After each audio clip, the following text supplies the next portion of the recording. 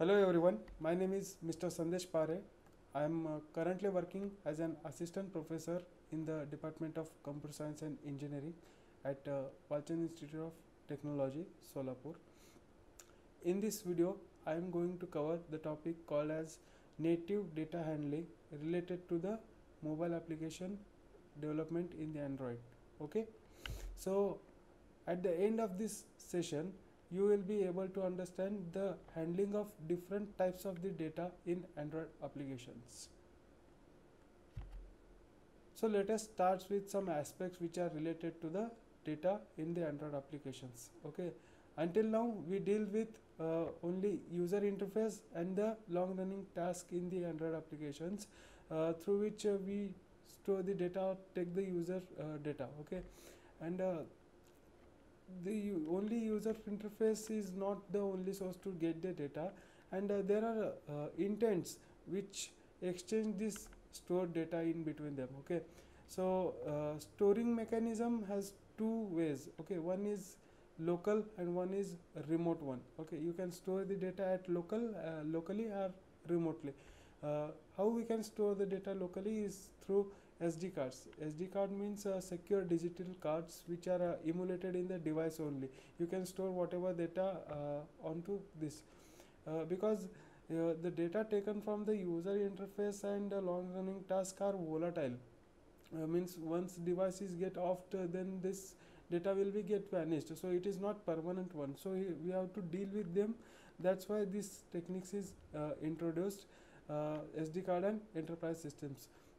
Uh, SD card is the local one, and uh, we are going to see that enterprise systems. Okay, it is uh, related to the uh, storing of the data at a remote location. Means whatever the user's uh, personal data is there, uh, it is stored at the remote location at the enterprise server.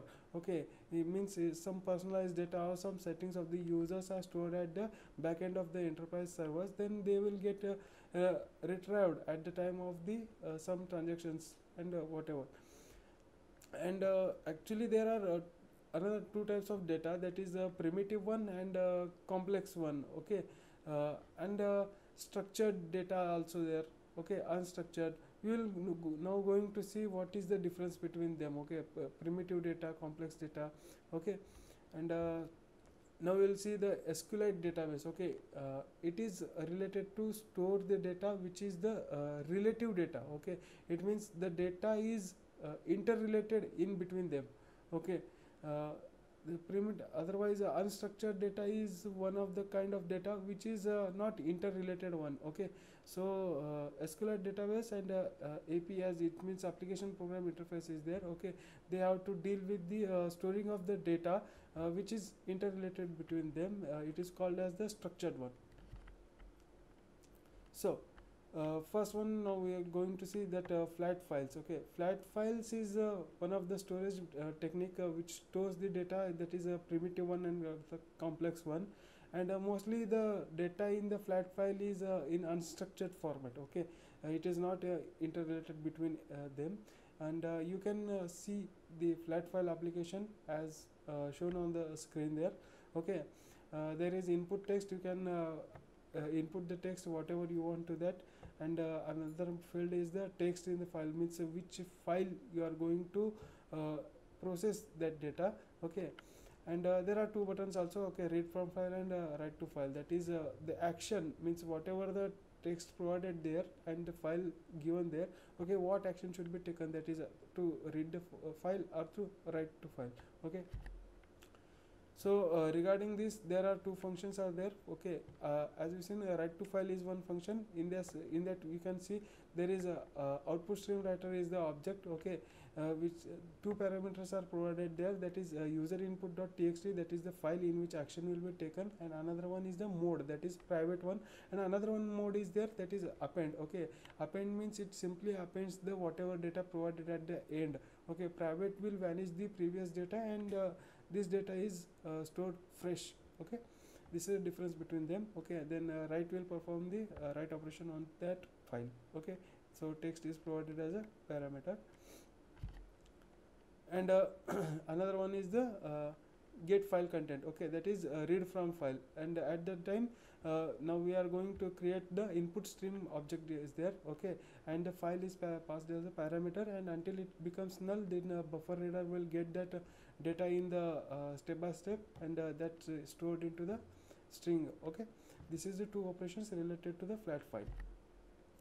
And uh, whenever you emulated the SD card as the I told you that uh, local data is stored there. In the Android virtual device uh, we have to specify the size of the uh, SD card okay? And it should be in the MB size okay? It should not be so much large that uh, because it consumes that much data from the uh, random access memory okay? So it should be a small. So there is one question for you guys that uh, flat file deal with which type of data and uh, list the method uh, need to implement this one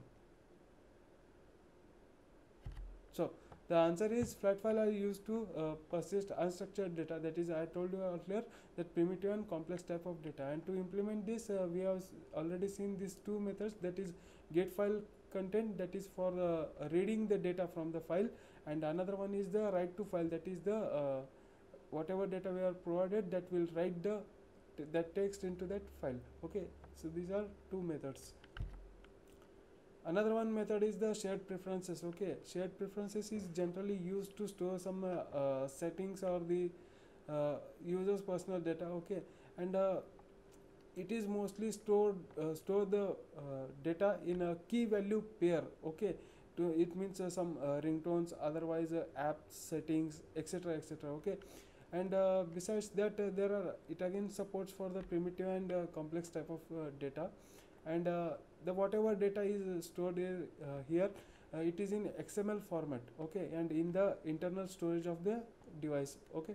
And whatever operations are there that means creation of that file okay? That xml file and uh, storage or the manipulation of that xml file is done in the internal storage storage of the memory okay?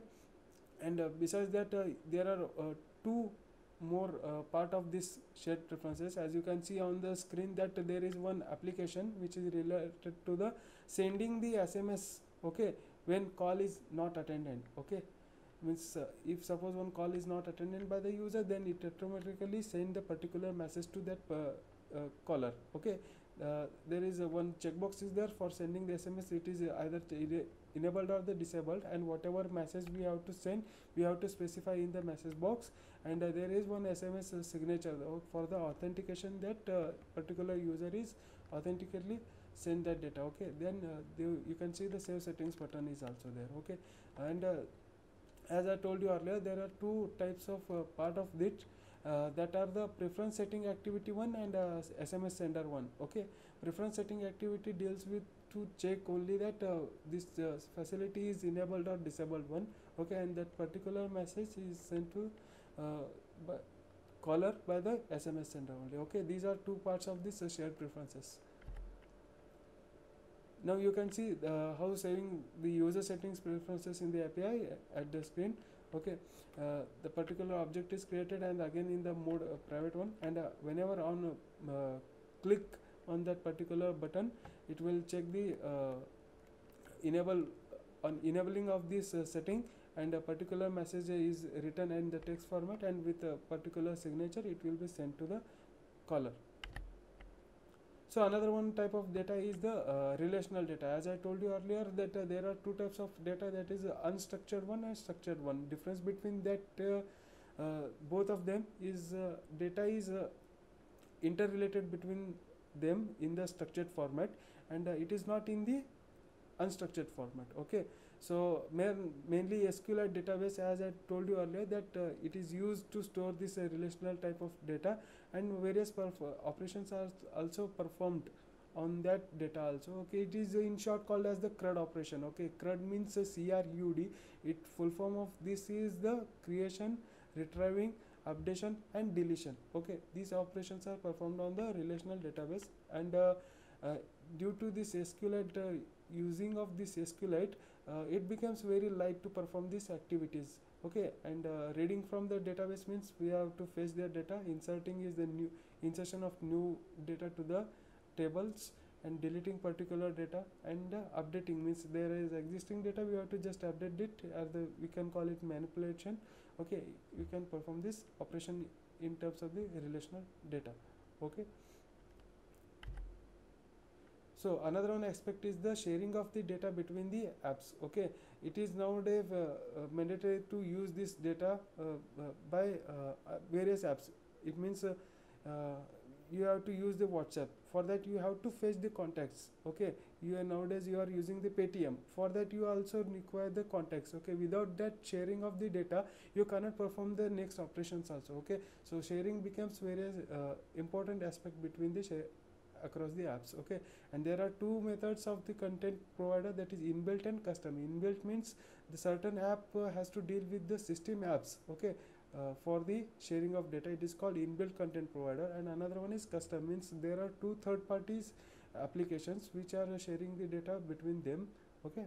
And enterprise data means uh, as i told you earlier that remote data whatever uh, stored at the remote location on the enterprise server uh, it is called as the enterprise data okay? It is the difference between all of them. So these are uh, some references i used to make this video Thank you.